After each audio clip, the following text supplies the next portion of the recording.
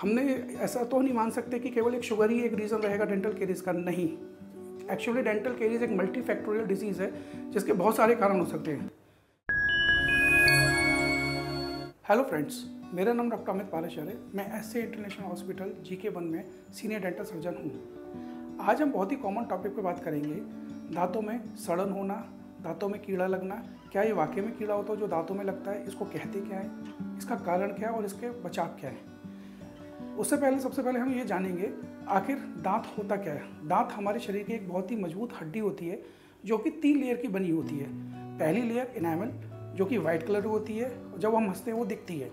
दूसरी layer dentin जो कि येलो कलर की होती है, जो इनामल के नीचे होती है, वो दिखती नहीं है। तीसरा बोलते हैं पल्प, जो कि ब्लड वेसल्स रेड कलर का होता है। कभी आपने नोटिस करा होगा कि आपके दांत में ब्लैक स्पॉट है, या कैविटी है? जी हाँ इसी को हम डेंटल केरीज बोलते हैं। जो कि लोगों के मन में एक मिथ होता है कि ये कोई एक दांतों में कीड़ा होता है।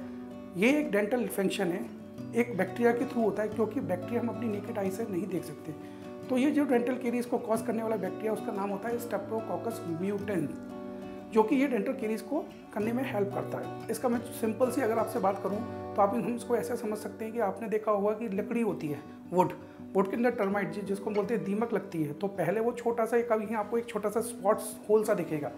पर आपने कभी नोटिस करा होगा दो तीन महीने बाद अगर हम देखें, जरा भी इसको टच करते हैं तो एक बहुत होलो कैविटी यानी लकड़ी को पूरा खोखल कर देती है। तो डेंटल केरीज कुछ इसी तरीके से होती है। तो इसका प्रमुख कारण बैक्टीरियल इन्फेक्शन है, क्योंकि हमारे मुँह के अंदर सलाइवा होता है सलाइवे के अंदर ये बैक्टीरिया होती है। अब ये एक्ट कैसे करता है, काम कैसे करता है? जब भी हम कुछ शुगर फ़ूड शुगरी चीज़ कुछ लेते हैं, मिठाई वगैरह कुछ खाते हैं तो ये जो बैक्टीरिया होता है, उस जो हमारे जो जो फ़ूड है, जो कि हमारे दांत की सरफेस पर जमा हुआ है, उस पर आके ये बैक्टीरिया एक्ट करता है, वहाँ पर जाके एक एसिड बनाता है। ये एसिड रिस्पॉन्सिबल होता है इस कैविटी के लिए। तो वो क्या, जो हमारा ऊपर की जो लेयर जो मैंने आपको बताया था इनामल है, उसको वीक कर देती है, जिसके कारण ये कैविटी होती है। ऐसा तो नहीं मान सकते कि केवल एक शुगर ही एक रीज़न रहेगा डेंटल केरीज का, नहीं। एक्चुअली डेंटल केरीज एक मल्टी फैक्टोरियल डिज़ीज़ है, जिसके बहुत सारे कारण हो सकते हैं। इसके पाँच प्रमुख कारण देखे गए हैं। सबसे पहला बैक्टीरिया काउंट जैसे कि मैंने आपको बताया streptococcus mutans bacterial infect bacteria है, जो कि डेंटल केरीज को इनहेंस करता है। तो हमको ये देखना होता है सलाइवा के अंदर हमारा स्टोप्टोकोटम लेवल जो बैक्टीरियल काउंट है हाई है तो वो एक प्रमुख एक कारण हो सकता है बैक्टीरियल केरीज का। सेकेंड टाइप ऑफ़ फ़ूड किस तरीके का हम खाना खाते हैं? स्टिकी फ़ूड है शुगरी फ़ूड है तो it is prone to dental caries third saliva हमारे मुँह के अंदर सलाइवा होता है, वो एक न्यूट्राइजर का काम करता है, जो प्रॉपर टूथ की क्लीनिंग करता रहता है। तो बहुत से पेशेंटों के अंदर, बहुत से लोगों के अंदर देखा गया हुआ है कि सलाइवेशन बहुत ही कम होता है। तो वहाँ पे डेंटल केरीज होने का चांसेस है। आपने देखा जो पेशेंट्स कीमोथेरेपी लेते हैं या प्रेगनेंसी जिस टाइम नई कंसीव होती है, उस टाइम पर सलाइवेशन बहुत कम हो जाता है कभी कभी किसी किसी का। पर कीमोथेरेपी और रेडियोथेरेपी में तो हमेशा सलाइवेशन कम होता है तो डेंटल केरीज होने के चांसेस सबसे ज़्यादा बढ़ती है। चौथा हम देखेंगे fluoride content fluoride essential minerals है जो कि हमारी डाइट के अंदर होना चाहिए।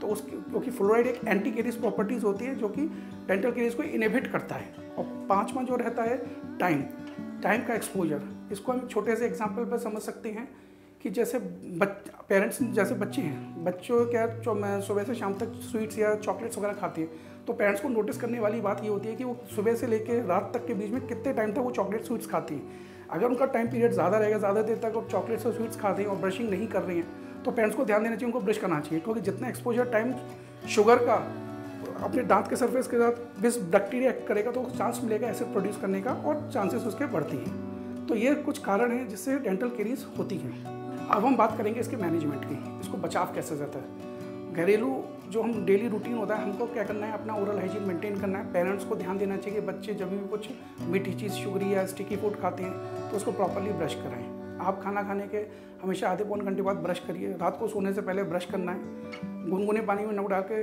आपको जो है कुल्ले करनी चाहिए। उससे काफ़ी हद तक इससे बचाव हो सकता है। पर ये कैविटी जब डीप होती है, जब आपको सिम्टम्स आने चालू होते हैं कि आपने कभी कुछ मीठा खाया इट्स पेन आपको होना होता है। तो ऐसी कंडीशन में आपको अपने नियर बाई डेंटिस्ट को विज़िट करना चाहिए। वो लोग वहाँ पर जाके इसकी, उसको उसको कैविटीज़ को क्लीन करके जो फिलिंग मटेरियल्स आते हैं different types of filling materials आते हैं, उससे उसको वो उसको उसको क्या कहते हैं फिल करते हैं कैविटी को प्रिवेंट करते हैं।